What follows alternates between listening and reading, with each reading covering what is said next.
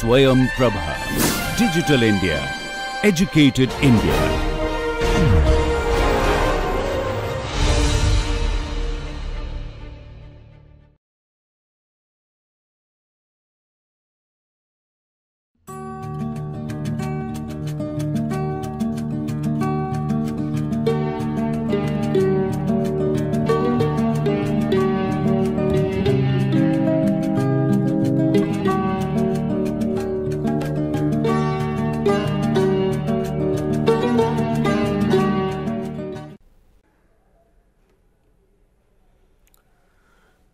Next few lectures, we are going to look at parabolic partial differential equations. One of the example problems where you could have a parabolic partial differential equation is unsteady heat conduction equation. Apart from that, you could have parabolic partial differential equations in boundary layer equations, where you have a thin viscous layer formed on a surface when you have a relatively high uh, Reynolds number flow over such a surface. However, the viscous effects do not percolate beyond that thin layer. In such a case, you have a boundary layer formation on the surface of a body and the governing partial differential equations are of the parabolic kind.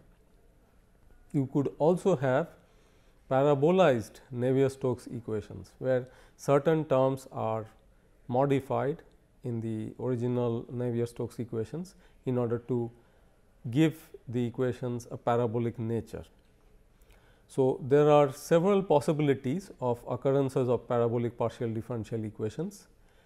However, we are going to look at only one case where you have an unsteady term on the left hand side of the equation that means a time derivative term of the dependent variable. So, here we are calling the dependent variable as u. This u could be temperature, it could be a velocity component for different types of problems that we look at of the parabolic kind. And we have to remember that this dependent variable is having a time dependence in addition to the space dependence that we have already looked at in elliptic partial differential equations.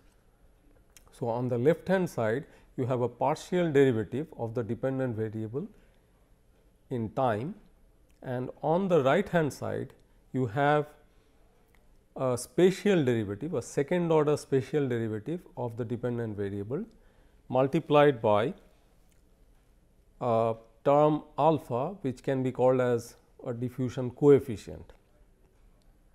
So, depending on the type of physical problem that we are solving this diffusion coefficient can have different implications. So, the most important thing that we need to note is that the dependent variable u is now having both a space as well as time dependence. Earlier in the elliptic equation category, we have seen that the dependent variable is dependent on one or more than one spatial coordinate. So, the independent variables were just spatial coordinates, they had no connection with time.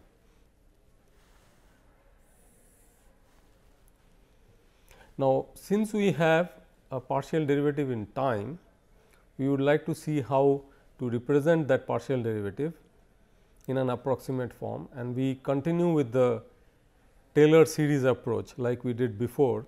So, we now expand the function u in time by keeping the spatial coordinate unaltered and therefore, you end up generating different orders of derivative of the dependent variable u in time multiplied by terms which are dependent on the time step delta t. So, delta t here is a time step and of course, we assume that it is a small number. as usual. Now, if you are to retain only two terms here, then you could approximate the first derivative of u in time as this and then you would be left with a delta t raised to the power of 1 in the truncation error as the leading error term and therefore, this gives you a first order time accuracy. Of course, in a manner similar to how we have used Taylor series in spatial sense, we could generate more higher order accurate formula for the time derivative. But here let us consider this first order accurate time derivative. We would call it as a forward difference approximation of the order delta t, because we are going forward in time to a different time step. You will see later that we often call the time steps with a superscript and in this case a time step corresponding to t plus delta t would be called as n plus 1 because the time step corresponding to corresponding to t would be called as n. So, if you look at the nomenclature that way, we could just show the nomenclature to familiarize ourselves that how the space and time would get indicated simultaneously. So, you would indicate u at the spatial grid point i at the nth time step in this form. So, the suffix continues to be representing the spatial grid location, the subscript indicates that and the superscript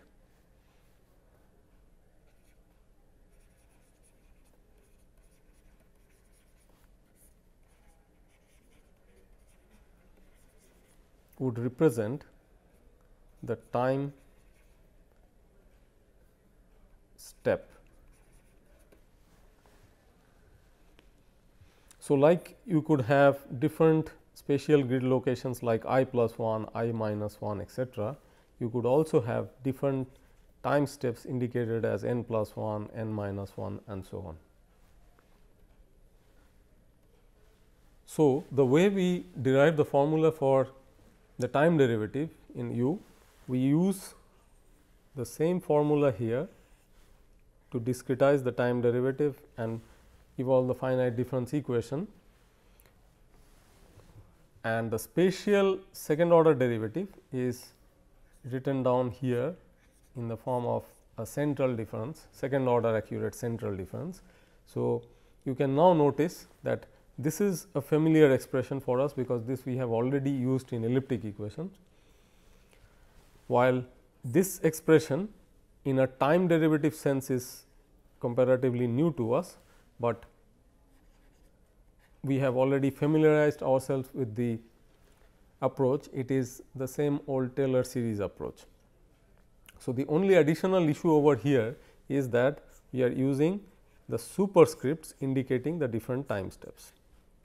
So, if you watch carefully the time steps that you have for the 5 different terms that you have generated here are containing the nth time step for 4 out of the 5 terms and only one term contains the n plus 1th time step.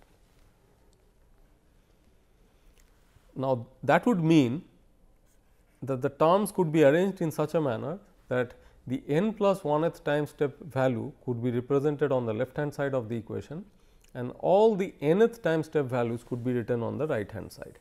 So, all these terms correspond to nth time step value and the specific name given to this kind of discretization of the parabolic partial differential equation is called as forward time central space or abbreviated as FTCS. So, from our earlier discussions on explicit and implicit schemes, you can identify this as an explicit scheme,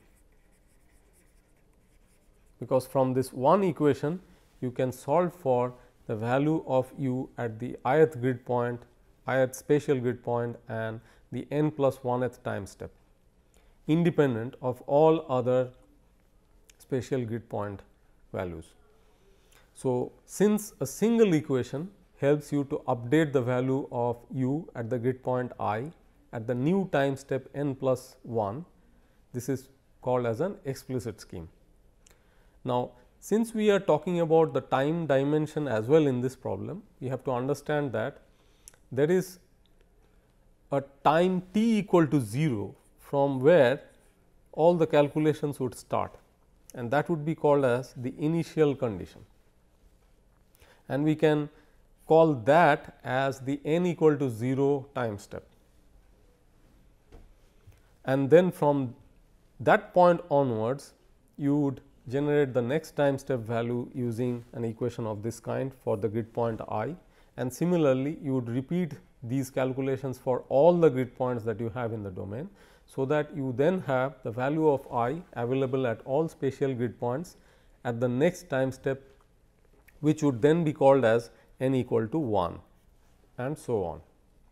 So, as these calculations progress with time you would reach a general time step n and then what you have generated before that time step n would be called as the n minus 1th time step.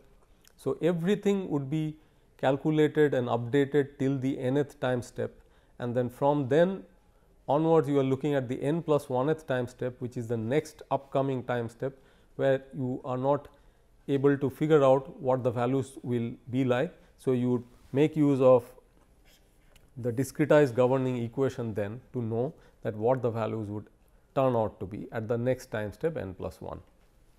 So, this is essentially an evolution problem where you are actually proceeding with the solution over all the physical grid points and marching the solution in time.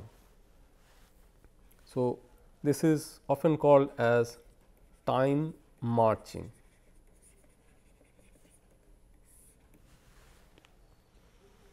Now, there are certain very important aspects about the solution that you generate at each of these time steps that you cross. So, it is very important to understand that all these different time step solutions that you are generating when solving the parabolic partial differential equation in its discrete form have physical significance.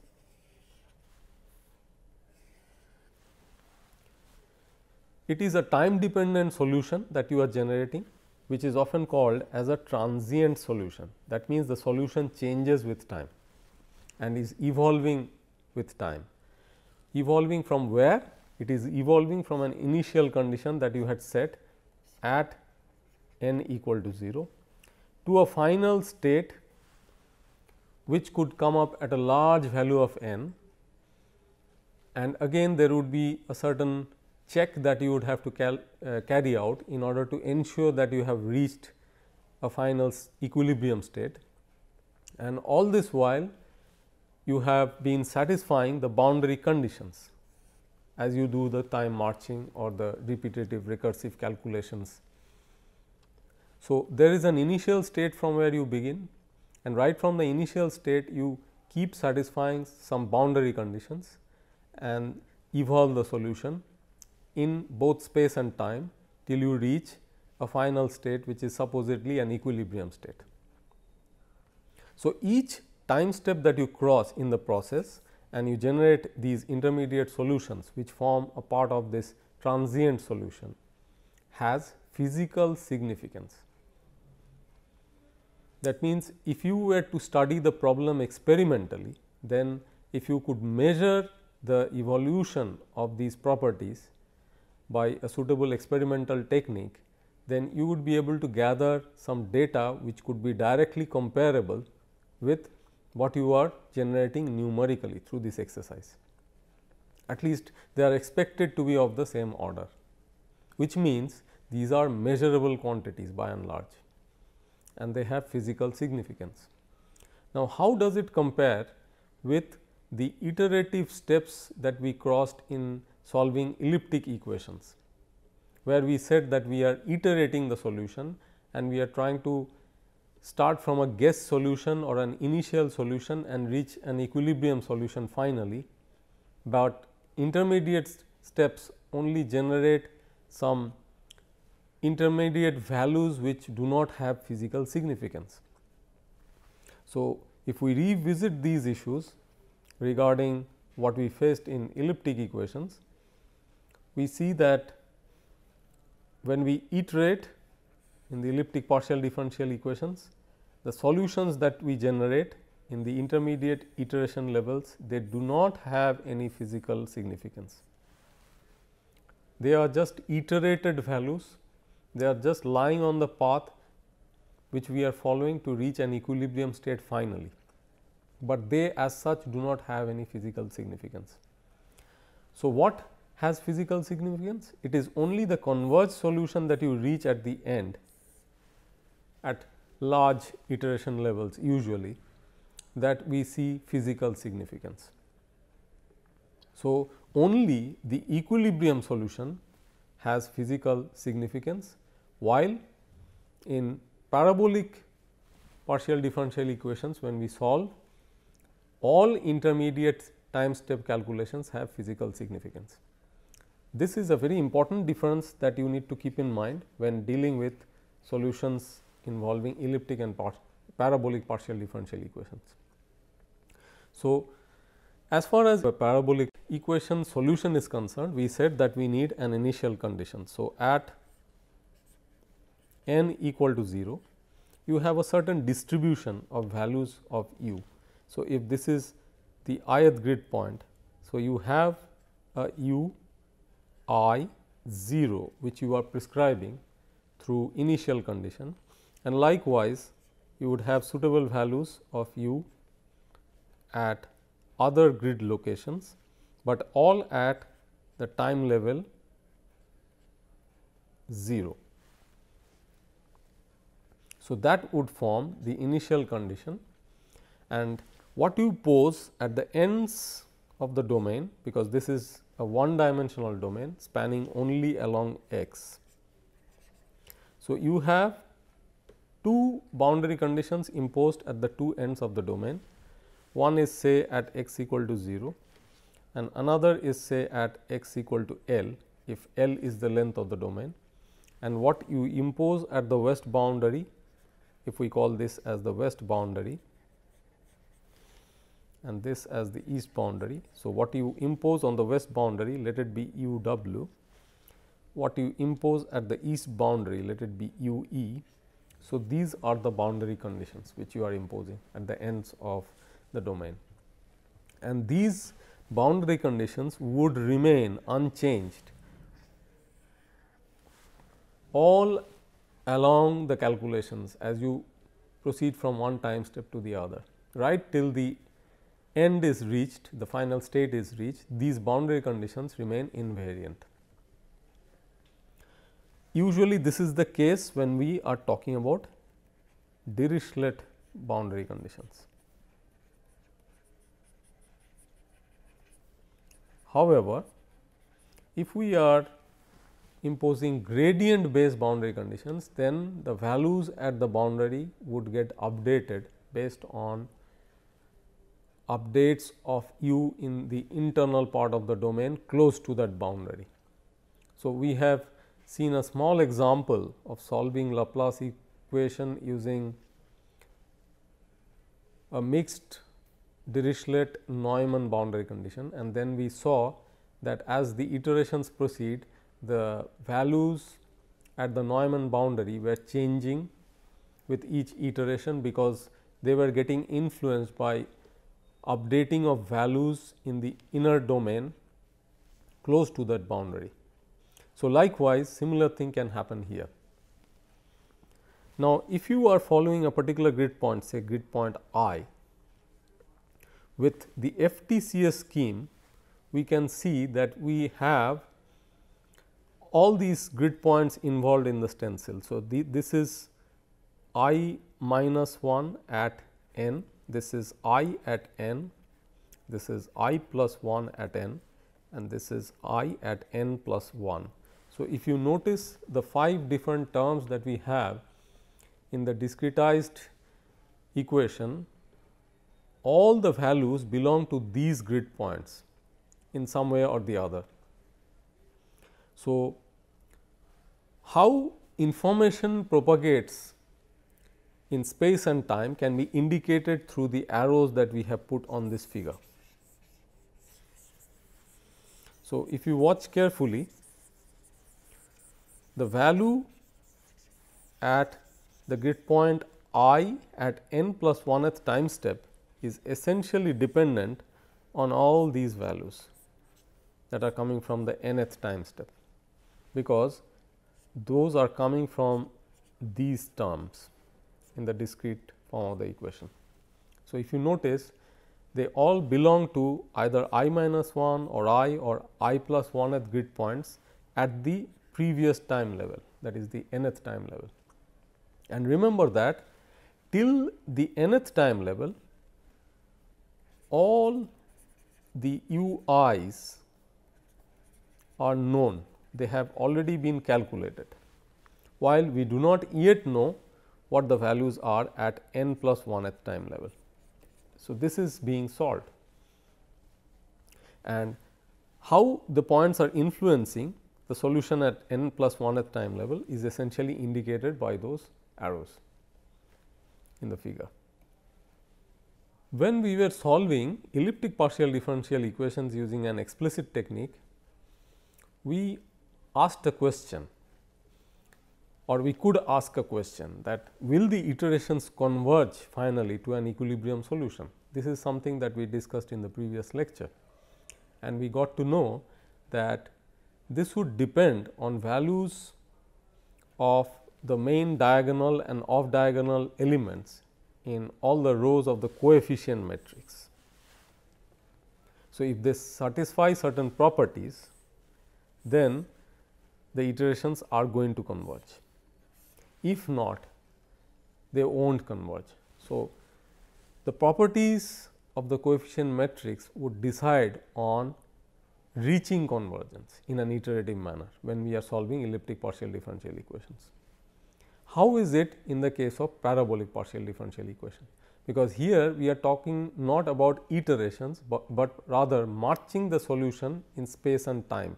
So, it is it is like this that you are actually proceeding in time by solving all the values at the range of grid points that you have disposed over space. So, as this process continues and you are doing it through an explicit technique, the question that one would ask is that will the time stepping calculations finally converge to a steady state solution. So, again we are asking the question of convergence to a steady state, but in this case we are essentially talking about the fact that because this additional issue of marching the solution in time is concerned, what will be the additional worries? Would there be any additional worries? So, here we would do some kind of a stability analysis of the discrete form of the governing equation. So, the stability of the finite difference scheme that we are using, let us say the FTCS scheme that we already came across, that needs to be investigated. And investigated using a certain method which is called as the von Neumann stability analysis. So, we have to use this stability analysis tool in order to investigate that whether the finite difference scheme has these properties which will ensure reaching of a steady state solution stably. So, whether it does have the desired stability inherent to it that as the calculations proceed in time, no values would start becoming very erratic or errors will build up in such a manner that the calculations become uh, fraught with error and then finally become unstable and crash. So, this is something that we have to learn how to do. So, we learn about the von Neumann stability analysis. Now, one thing that we emphasize that you must have noted is that here we emphasized about the behavior of explicit techniques, because explicit techniques are vulnerable to these stability issues. Implicit schemes in general are inherently stable by and large and in fact, this can also be displayed through the von Neumann stability analysis that implicit schemes are not troubled with the stability issue, but explicit schemes are and therefore, whenever we are handling explicit schemes we need to be very careful especially when we are marching the solution in time to do a stability analysis and ensure that the scheme will actually work. So, we will begin the discussion on von Neumann stability analysis. So, in this method what we do is we look at the finite difference form of the partial differential equation and we try to expand it in a Fourier series. And here when we use the Fourier series, the Fourier components contain two terms essentially. So, there is an amplitude term which is representing the temporal level or time level or the time step